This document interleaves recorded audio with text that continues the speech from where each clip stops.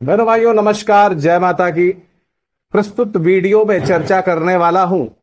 कन्या लग्न और कन्या राशि पर पड़ने वाले वक्रीय शनि के गोचर के प्रभाव को। अगर आप कन्या लग्न या कन्या राशि के व्यक्ति हैं तो मेरा निवेदन है, इस वीडियो में लास्ट तक बने रहिएगा। कुछ जानकारियाँ आपको मिलेंगी, जो आपके लिए कामदायक हो सकती हैं, अच्छी हो सकती है। मेरे भाइयों कन्या लग्न पर पंचम और छठे भाव का स्वामी होकर के शनि जो है, मिश्रित फलकारक होता है, लेकिन लग्नेश का मित्र होने के कारण प्रायः इसके जो रिजल्ट्स होते हैं, वो अच्छे ही होते हैं। छठे भाव में कुंभ राशि में अपनी मूल त्रिकोण राशि में शनि का वक्री होना, कन्या लग्न और कन्या राशि के जातकों को क्या देने वाला है? बहनों भाइयों, वक्री ग्रह के बारे में स्पष्टतः कुछ कहा नहीं जा सकता है क्योंकि इसके परिणाम अनपेक्षित होते हैं, अप्रत्याशित होते हैं। शीघ्रता से मिलते हैं। शनि वैसे तो शनिश्चर है। इसके रिज़ल्ट देर देर से मिलते हैं, लेकिन क्या है कि जब शनि वक्री हो जाता है तो जल्दी रिज़ल्ट देता है। यही फ़र्क है मार्गी और वक्री शनि के प्रभाव। अब जिनकी जन्म कुंडली में वक्री शनि है, उन, उनको विशेष परिवर्तन नहीं देखने को मिलेगा, लेकिन जिनकी जन्म कुंडली में शनि मार्गी है उनको विशेष परिवर्तन देखने को मिले। छठे भाव में शनि का वक्री होना,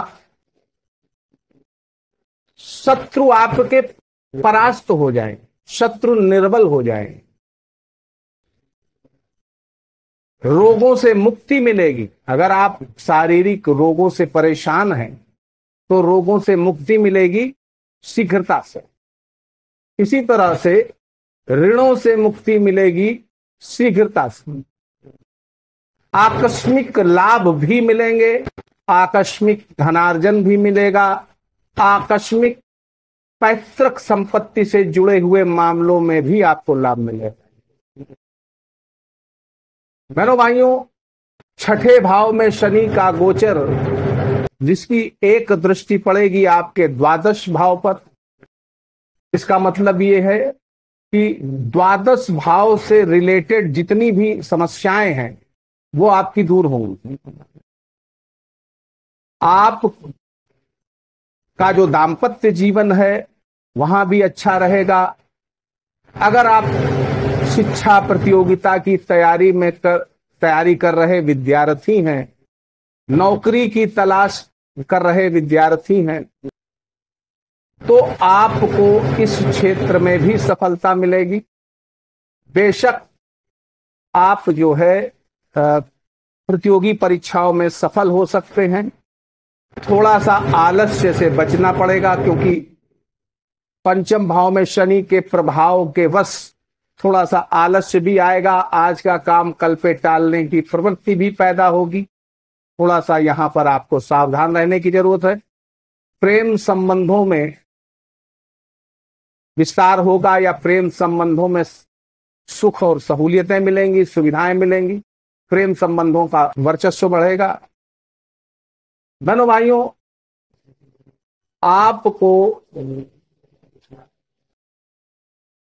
एफर्ट्स करने चाहिए, प्रयत्न करने चाहिए, प्रयास करने चाहिए, तरक्की के लिए। निश्चित तौर पर आपके वो प्रयास सफल होंगे। किसी भी क्षेत्र को लेकर के कोई काम पेंडिंग पड़ा हुआ है, उसके लिए अब लग जाइए। तो जो अभी तक वो काम नहीं हो पाया था, वो काम अब इस अवधि में हो जाए। कुल मिलाकर के अगर कन्या लग्न और कन्या राशि पर शनि के वक्रत्व के प्रभाव को देखा जाए तो मुझे लगता है कि लगभग लगभग 80 परसेंट आपके अनुकूल रहेगा, यानी आपके लिए अच्छा रहेगा, और थोड़ी बहुत समस्याएँ 20 परसेंट पे रहेंगी, और वो तब रहेंगी जब आप लापरवाही करोगे, जब आप आलस्य करोगे।